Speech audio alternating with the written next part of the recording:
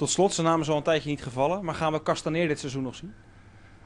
Nou, niet, uh, niet op korte termijn. Hij is druk bezig, uh, ook met zijn uh, revalidatie. Nou, en, ja, dat, dat heeft gewoon even tijd nodig. Dus het is nog niet helemaal goed in te schatten wanneer hij terug zal zijn. Als jullie geen na-competitie halen, doet hij niet meer mee? Ja, dat is, ik zeg al, moeilijk in te schatten. Het zijn maar vier wedstrijden. Ja, het is al een maand natuurlijk. We hebben nog interlandbreek zit er nog tussen. Dus, maar we houden het goed in de gaten.